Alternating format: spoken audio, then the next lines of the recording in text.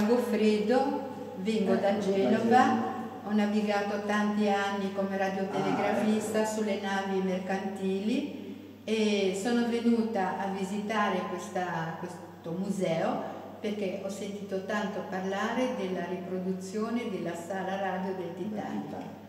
È stato veramente interessante eh, notare i particolari così curati con la quale è stata riprodotta questa stazione e non nascondo mi sono commossa parecchio nell'assistere alla programmazione del filmato che narra minuziosamente gli ultimi minuti, minuti della, sì, sì, della, della, stazione radio del Titanic. Io sono stata imbarcata tanti anni su navi passeggeri tipo la Roma della flotta Lauro, la Sydney, l'Achille Lauro, l'Angelina Lauro. Sono stata imbarcata anche sulla petroliera Santa Rosalia della Cameli, eh, 120.000 tonnellate di stazza lorda e poi altre navi dell'Oide Triestito, della Kosulic, della Società Italia di Navigazione, però non con la qualifica di eh, radiotelegrafista. Questa è la foto della stazione radio della Roma ah, ecco. e io ero imbarcata con la qualifica di bambinaia lieve rettine inizialmente, perché una volta non esisteva la lieve rettine esisteva soltanto il mozzo che faceva l'allievo RT. Chiaramente come mozzo non mi hanno voluto imbarcare, abbiamo trovato un escamotage con questa qualifica.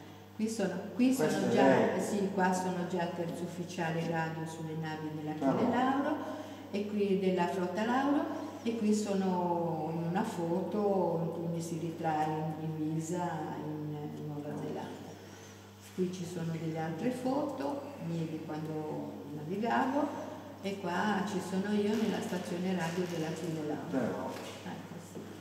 Interessante. È una bella, una bella, signor, bella signorina. A parte, a parte, no, ma io parlo dell'efficienza dell della stazione radio. Io ad esempio avevo il KEI, che è un tasto americano, che praticamente eh, la trasmissione veniva effettuata tramite un'oscillazione del polso. Da una ah. parte si facevano le linee, molto sensibile, molto sensibile e soprattutto veloce, perché insomma trasmettere un telegramma eh sì, e ognuno di noi, a parte i tasti in dotazione della stazione radio, avevano il tasto personale che ah, sì. va portato proprio. Ma questi qui sono un po' diciamo mastodonti perché allora si trasmetteva con le sottili. Esatto. Allora a una certa velocità non, potevano, no, eh, deve dare tempo alla sottile. Sì, sì, di, di, e se no fai un arco completo.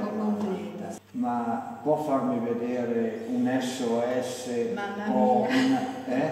Farò una chiamata, una chiamata, ecco. www come si usa. Che velocità.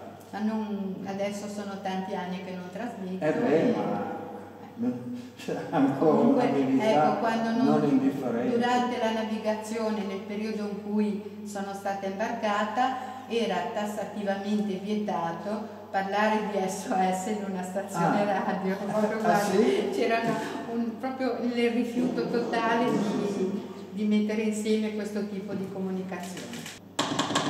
V, v D e poi si dà il nominativo radio della stazione che trasmette. ICHR che è un nominativo radio di una nave. La velocità normale, normale va dagli 80 ai 150 caratteri al minuto. Dipende dall'operatore che è in ascolto, perché se uno vede che ci sono delle difficoltà, allora diminuisce la velocità, altrimenti sui 150 caratteri al minuto, che una volta erano anche eh, i caratteri con cui veniva trasmessa e ricevuta la stampa, sia italiana che estera. Questa è la foto di un iceberg che abbiamo incontrato nella navigazione tra l'America del Nord e l'Europa. Quindi facsimile. È un facsimile. Infatti io le ho detto che qua noi eravamo a debita distanza, eh, chiaramente, certo. però nonostante la lontananza, quando si passa vicino ad un iceberg si viene colpiti da una corrente fredda come quando si apre la porta di una cella frigorifera. E questo qui invece è una mareggiata, non molto, non molto grande rispetto a quelle altre che abbiamo preso, però ecco, vede che l'altezza dell'onda sì. eh, copre altamente la, la prora della nave. Io la ringrazio del, della visita che mi ha fatto vedere delle foto interessantissime. Io ringrazio lei per l'opportunità che mi ha dato di visitare questo, questo museo, chiamiamolo così, e soprattutto mi complimento per lei per la meticolosità con la quale ha ricostruito questa stazione radio. È stato veramente un piacere conoscerla.